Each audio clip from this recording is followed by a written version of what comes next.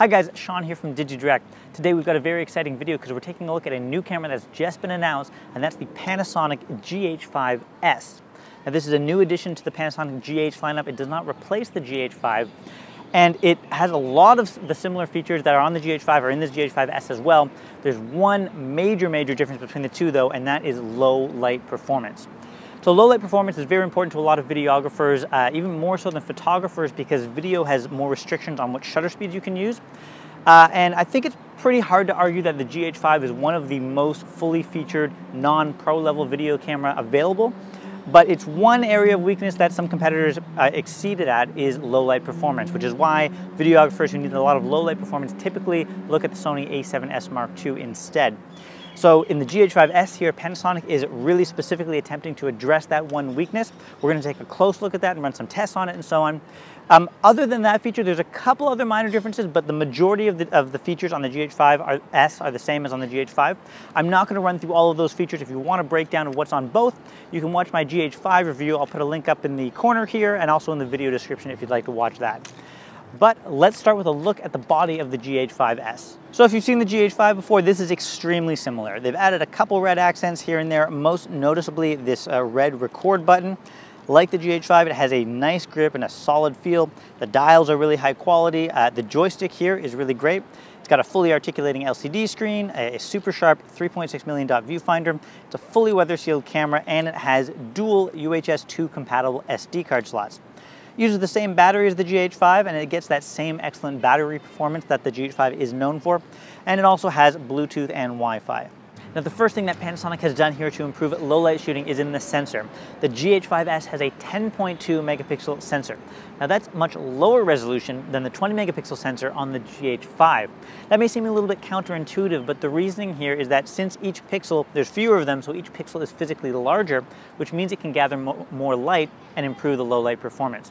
That's a very similar idea as to what Sony did on their a7S Mark II, their big acclaimed low light shooting machine. Um, that's a 12 megapixel full frame sensor, obviously much lower resolution than the other A7 cameras for the same reason. Now in the GH5S for video, uh, that's not going to be a concern because video is much lower resolution than photos. 4K video is only equivalent to about an 8 megapixel photo, so that's fine. For photos though, that's going to be limiting. So this is only going to take 10 megapixel photos. That means this camera is really specifically meant for video, not so much for photos. Now the other thing that they've done here is they've added what's called dual native ISO technology. This is something from Panasonic's pro level VariCam lineup. And essentially the sensor has two circuitries running from it, one for regular shooting and the other one is specifically for low light shooting. So when you get up to some of the higher ISOs, it's gonna switch over to the secondary circuitry, uh, giving you, or in theory, giving you better low light performance. Okay, but that's enough beating around the bush. Let's take a look at some of this actual low light performance. So I've set up a little test situation here. We're gonna compare the GH5S against the GH5 to see how much it improves on it. And we're also gonna compare it against the Sony a7S Mark II because that's kind of the gold standard in low light video performance. We'll start though with the GH5S versus the GH5. So we'll start off here at 1600 ISO. Both cameras are looking pretty good here, uh, but if you look at the white of the Staples box, you can already see a little bit of noise in the GH5 uh, where that's absent in the GH5S. Bumping it up to 3200 ISO, we see that's a little bit more pronounced here, a bit more noise in the GH5. GH5S is still looking pretty clean here. Now we're going to increase it to 6400 ISO. That trend continues again. Well, we can now see a tiny bit of noise in the GH5S here. It's still very light and controlled. And that's excellent considering that we're already at 6400 ISO.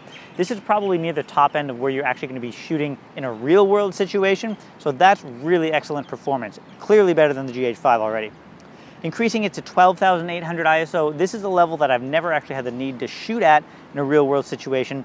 We can see the GH5 here is starting to break down quite a bit. The footage is looking grainy and quite soft. The GH5S still going strong though. There's a little bit of noise here, but it's definitely footage that I would consider to be usable, certainly. Now the GH5 uh, doesn't go any higher than this in terms of video, but the GH5S, we can increase that to ISO 25,600 definitely getting noisy now, but this is still probably borderline usable uh, in extreme situations. Finally, the max ISO here for the GH5S is 51,200. You're definitely not going to want to use this. The footage does break down quite a bit here. Um, although considering that we're at 51,000 ISO, I, you know, I would expect that. Um, but it definitely does break down. So the GH5S here is clearly an improvement over the GH5, giving us usable footage up to about 12,800 ISO and even arguably about up to about 25,600. Uh, I would even say that the, the footage from the GH5S at 12,800 was cleaner than the GH5 was at 6,400. So really, really good performance here. Definitely an improvement. Now, let's compare it though against the Sony a7S Mark II because that's, as I mentioned, the gold standard in low light. Let's see how it fares here. So we've got the same test here. We'll start off at 1600 ISO again, where both cameras are performing quite well. Going up to 3200 ISO, we're still looking good on both cameras, no noticeably uh, big difference here. Bumping it up to 6400 ISO, and we start to see a little bit of noise creeping in here, still well controlled in both, but to my eye, the GH5S is actually looking a little bit cleaner, especially in the white of the Staples box here.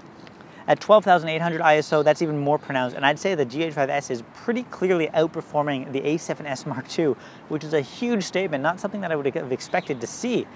Um, in fact, I actually had a number of colleagues look at this footage side by side without telling them which was which, and they unanimously picked the GH5S footage as looking cleaner than the A7S Mark II. Now at 25,600 ISO, we're definitely seeing the noise in both, although now that we're starting to hit these really high ISOs, the A7S Mark II is gonna start winning out again here, as you can see. Now at 51,200, the GH5 footage takes a big dip in quality here, while the A7S Mark II doesn't look too much different than it did at 25,600. That's where the GH5S tops out, but we can bump the A7S II up to 102,400. It even goes a little bit higher than this, but we're really starting to see a lot of noise at this point. So that was an extremely impressive result. The GH5S here went toe to toe with the A7S here up to about ISO 25,600. And like I said, I actually preferred the look of the footage from the GH5S throughout most of that range. And granted, the A7S Mark II did outperform it at 51,200 and above. But as I've mentioned, in real world, world situations, you're unlikely to be shooting over about 6,400 or 12,000 IS, uh, 12,800 on a regular basis outside of extreme situations. So I, I, think that the performance of the GH5S here is super, super admirable. Someone who's, you know, wants a GH5 or likes the feature set of it, but is a bit wary about low light, definitely this is gonna be a big fix for that. So there's a few other minor points here where the GH5S differs from the GH5, and I'll run through those quickly here. There's a number of features set up to support that low light shooting. It's got the same 225 point depth from defocus autofocus system as the GH5, but that AF system is now accurate up to negative 5 EV, which is gonna give you good AF performance even in, in these very dark situations. There's a feature called Live Boost where when you're looking at the, the footage on the back of the screen, it can electronically brighten it and it also increases the magnification zoom ratio to 20 times so that you can use manual focus to look, see what you're shooting and focus on it in low light a little bit easier. There's even a new night mode, which gives the LCD and viewfinder a red cast. So if you're in a dark environment, you're not gonna ruin your night vision by looking down at the, through the viewfinder at the LCD because red light doesn't ruin your night vision the same way that you know white light does.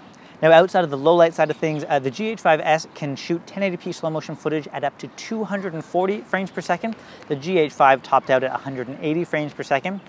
Like the GH5, it can also record 10-bit 422 footage at up to 400 megabytes per second, but the GH5S now can also record 10-bit internally while it's also exporting 10-bit externally, like to a recorder unit at the same time. You can also do 4K 60 frames per second like the GH5, but you can now do that in Cinema 4K as well as Ultra HD. These are just slightly different aspect ratios of 4K. The GH5 could only do 4K 60 in UHD, Ultra HD.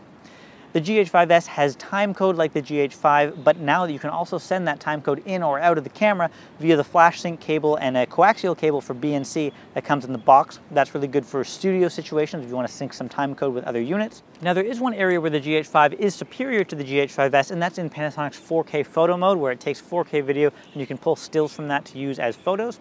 In the GH5, it's actually 6K photos, so the stills are higher resolution. In the GH5S, because the sensor resolution is lower, that maxes out at 4K photos. So the stills you can pull from that are only 8 megapixel as opposed to uh, a little bit higher in the GH5. Considering the market for this camera, I don't think that's a big deal. The GH5S also comes with Panasonic's Vlog flat picture profile built into the camera. That's something that is a separate purchase if you're getting the GH5 and it costs about $149 Australian. So the GH5S is overall very similar to the GH5, but that improvement in low light performance is really spectacular. I think that if you were you know, interested in the GH5 because you like the feature set, but you were a little wary about the low light, the GH5S is an excellent solution to that. Um, in my opinion, other than low light, the GH5 was already the best uh, camera out there for the dedicated videographer.